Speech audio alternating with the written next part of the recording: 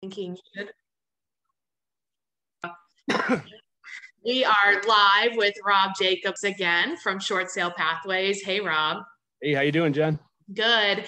Now, we came on talking about short sales and foreclosures and what was going on right as the lockdown was hit. So I thought it would be good to get an update um, from you on kind of the current state Oh yeah, yeah. Well, a lot has happened. Obviously, it's been a little over a year, and uh, you know some of the main uh, key points are um, the the foreclosure um, forbearance that and the moratorium for renters. So the you know the first one that's coming up is the rental moratorium that ends right. at the end of July. Uh, it was supposed to end in June, and uh, Biden bumped it a month. And um, the thing about that one is that we don't nobody really knows how many renters are, are not paying their their rent right now because um, they don't really have a way to to gauge it and, and follow it like they do with the mortgages. But can you know, I ask you a question about that? Sure. So there were some states that didn't have the foreclosure moratorium, right? Well, no, it's a national uh, law, so it would be uh, the GSEs and uh, HUD. So. Oh, um, okay. It was some states didn't have the eviction moratorium. Oh, for the renters. Yeah. Well, national law, state law can't buy over over uh, go over the, the national law. Okay. But there's you know there's a lot of caveats in that you know if it's vacant they or I mean if the renters have moved out they can do it. Okay. Um, so you know the, there's a lot of ways that the people can can kind of skirt the law that's there, um, and, and that's still legal and and evict people. But um, if it's you know a single family home where the people are just there can't pay their rent, those people have to stay until you know July 31st. Accepted. Yeah. But then that could affect because if they're not paying their rent, and let's say, um, let's say the owner can't then pay the mortgage because they're not getting the rent.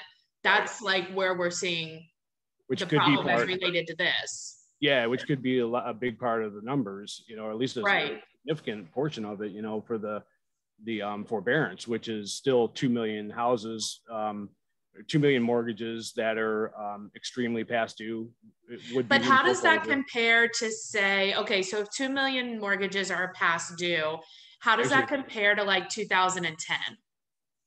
Um, the the numbers um, are roughly about the same. I think it was 1.7 million in 2010. Really? So um, yeah, and, and, actually what we have is there's about two, it's 1.85 million that are extremely behind, probably from the beginning, so 15 months say, and then there's another million that are between 30 and 90 days behind. So okay. there's almost 3 million late mortgages right now. But that also means that they're not negotiating like because I don't I don't know if people know this, but like obviously you've had over 15 years of processing short sales. Um, and I used to um, do some short sales also. So like before you go to foreclosure, there's opportunities to negotiate with the bank yeah, to not foreclose, right? Which is the short sale. There's a couple options, yep. but with the ones that are behind, they have not even looked at any of those options, right? Because of the ban. Uh, well, they're starting to now and okay. it's not intense and in depth. It will be after September 30th because everybody okay. will have to go through that. So right now, what they're doing is they're contacting the uh, people that are late, not paying, and asking them if COVID is still affecting their ability to repay. Okay. If they say yes, then they're extended. Uh, if they say no, um, I think I can redo it. They'll put them into a loss mitigation and see if they can rearrange their payments, whether it's uh, restructuring their their uh, you know monthly payment amount or um, putting you know the amount at the end of the loan, which is which is essentially FHA ha- has already had that for a long time, and it's basically a second mortgage, but it's still through your you know main mortgage. They just and, extend the time and make yeah. the payments like kind of more affordable yeah. based on your financials. Yeah, it'd be a balloon payment at the end of the term, you know, when your mortgage is up and eh, you know, and then your more normal mortgage rate would start up whenever, you know, August or whatever. So let's say the person is like, no, COVID isn't affecting me, but like I can't like for whatever reason they're like, I can't afford this house or whatever. They're probably not going to extend it depending on the person on the phone that they're talking to. So, you know, because it's supposed to be 100% COVID related. Now, if you're if you're not paying your mortgage and it has nothing to do with COVID, chances are they're just going to uh, put you into the loss mitigation immediately and and try but to. where uh, a short sale could come into, yeah. right? Yep. So, yep. can you explain how? Because you're um, if people don't know, we did like a three part series on explaining like short sales, foreclosures, how it works, how your company, Short Sale Pathways, works with other agents because you're actually a licensed agent, which is awesome. You yeah, I'm a broker. Our plight. Yeah. yeah, so if but you work with agents eh, yep. all across the nation. So if they have a client and i would recommend and i'm sure you would too just from having done the process if you're a real estate agent where you have a client that's underwater which seems almost impossible now but once they've added like fees and stuff that's very real right? Well, yeah well you know when people when it comes down to it they're going to be 18 months behind and if their mortgage was 2000 a month they're now um, $36,000 behind on yeah. the mortgage. If they bought their house one to five years ago, they pro- still owe almost what they paid for the house. Yeah. And, and, you know, and not only that, but, um, you know, so they owe that, then they don't have the money to get caught up. And what I'm worried about too, is the people that are buying houses right now are taking their life savings and putting mm-hmm. it into the purchase of the house in appraisal guarantees. Right. You know, there's a you know nine months of that that's went across the country. So you know how many uh, savings have, has that wiped out? Right. And when the market goes down, those houses are not going to be nowhere near what they paid for them because yeah. they, they were already weren't what, worth what they paid. You know. Yeah. right. Well, yeah, that's a problem for like in a year or so, right? So like, I guess. Yeah, me. yeah, we'll see what happens. You know, the economy is not funny. yeah. Well, but for now, okay. So if they're if they're underwater, like we are, we're at our listing um, appointment, or we've done a lot of research, and it seems like they're underwater. Then the first thing that they would do would be to contact you, right? So how do they work yeah. with you in order to help their client? Well, uh, we work together as a team. It, you know, me, the agent, and the seller. Um, the agent can, uh, you know, present me as a team member mm-hmm. and I'm a specialist.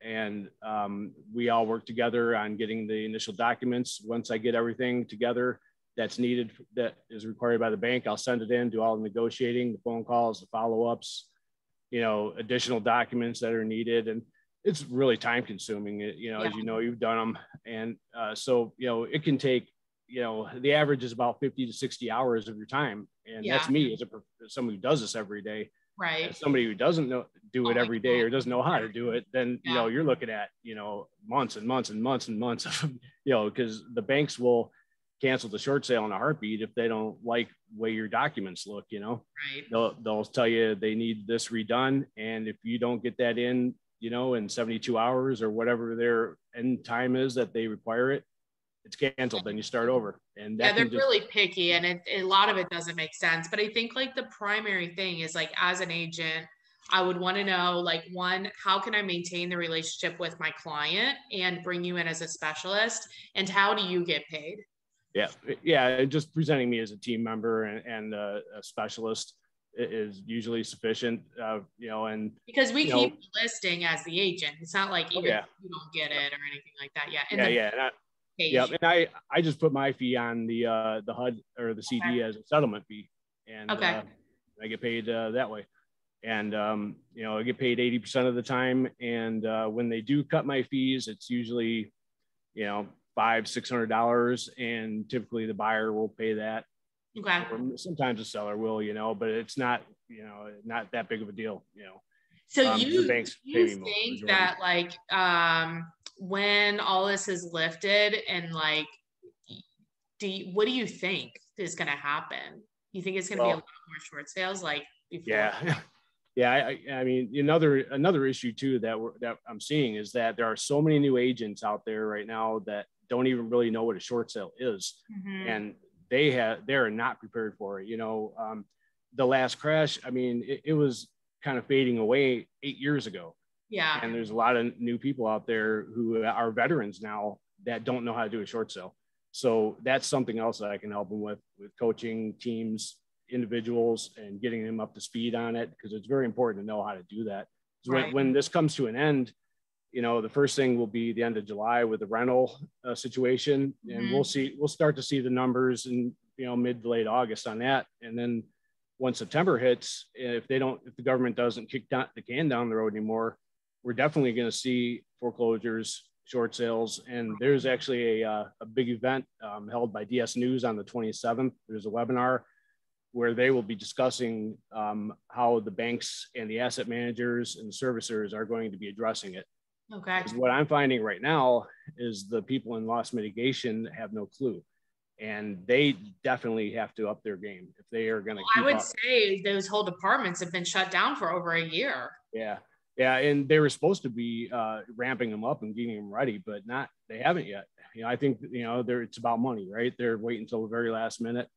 So, um, you know, hopefully they they do have the staffing and that what they're I've seen parts of their plans. They're going to start moving people from originations into that. Um, you know, the, the economy is already uh, struggling. And that's another thing I wanted to talk about is, you know, we, the C, the uh, CPI index numbers just came out and it's double what the government, um, you know, was uh, uh projecting. Mm-hmm. And, uh, and that's not a good thing. And uh, that, that flyer that I sent you, I mean, one of the, the crazy numbers. The screen so they can see it. Yeah, there we go. So I mean, uh, like uh, used cars, for, what's that, forty five percent?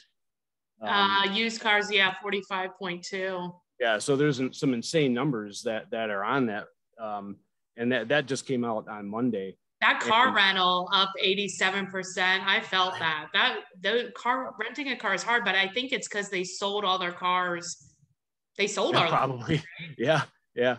yeah. And, and, you know, there's so many issues right now with uh, you know, uh, uh, the unemployment issue and um, you know people that are not working that probably should be they're collecting unemployment well mm-hmm. you know there there's um, computer chips are in, in, high demand and hard to get so you know my refrigerator went out i can't get a new refrigerator for almost a month because of the chip shortage um, and that's affecting everything because everything's you know chips in everything nowadays well know? everybody's feeling that we ordered yeah. some windows for a property and they're like uh, what do they tell me? At least, yeah, at least 12 weeks, at least. Yep.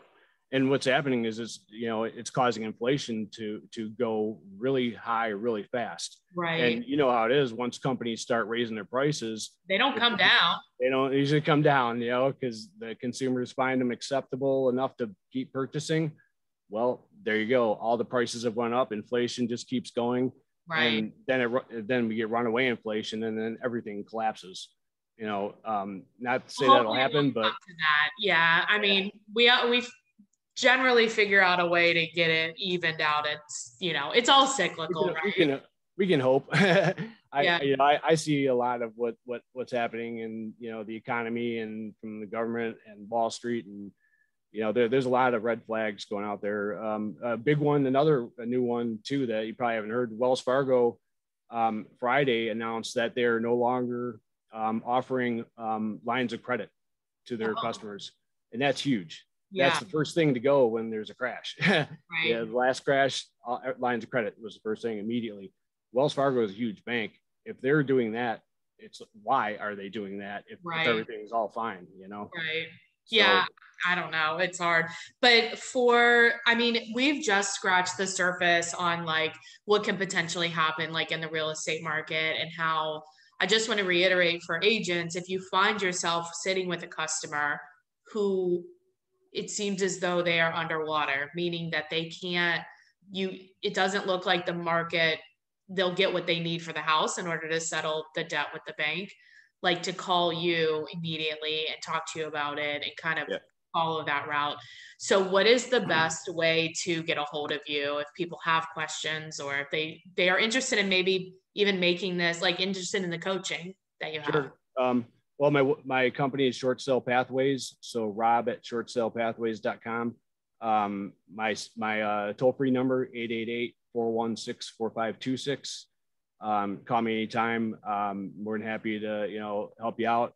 Anybody Are there any states advice? that you don't do? Uh, no, I mean I work in all the states, but some states, um, you know, uh, like California, a lot of them out west uh, have no recourse on foreclosures. So typically, the people just let it go because it's got it. Not much incentive to do the short sale. So. Whereas, like in some other states, like um, Ohio or whatever, like they they'll they'll go come after you, and you know the, the bank will come after you for the difference. Yeah, yeah. Yeah, yeah, so I guess it depends, which is why they need to call you and so you can like help yep. figure that out for them. Yeah, and you know you don't see a whole lot of people where the banks come after them, but you know 30% of the mortgages are private. Uh, those are probably the, uh, most likely to uh, for people to be sued. And uh, you know here in Michigan, it's seven years. They can come after them, and then they can file a court notice for 10 years. Wow. It's a long time. Yeah, it's a long time. You know, you might it, you know, it'd stink, you know, and it would be the professionals, you know, lawyers, doctors, you know, that were affected, that they lost a lot of their assets, lost their job, who knows. And then their careers got back on track. Well, in five years, you may get a letter saying, Hey, you owe us 40 grand, 50 grand. Right. right. you know, um, nobody wants that. but, no, definitely um, not.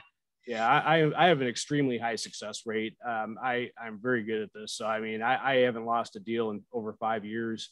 That's good. And, yeah, so I mean, I'm. What's know, the done, longest one's ever taken you to complete? Uh, I just closed. I just closed it about six months ago. It was two years and four months.